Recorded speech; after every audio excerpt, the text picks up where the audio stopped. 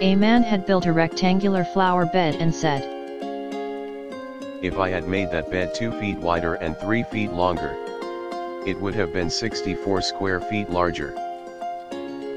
But if it had been 3 feet wider and 2 feet longer, it would then have been 68 square feet larger.